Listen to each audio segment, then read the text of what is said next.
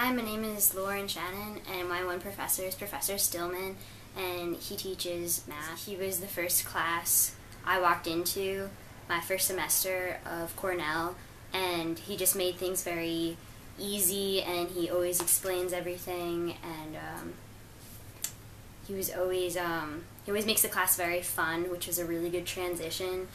Uh, he was always very um, encouraging with students and like wanted to hear what we had to say, which was really helpful.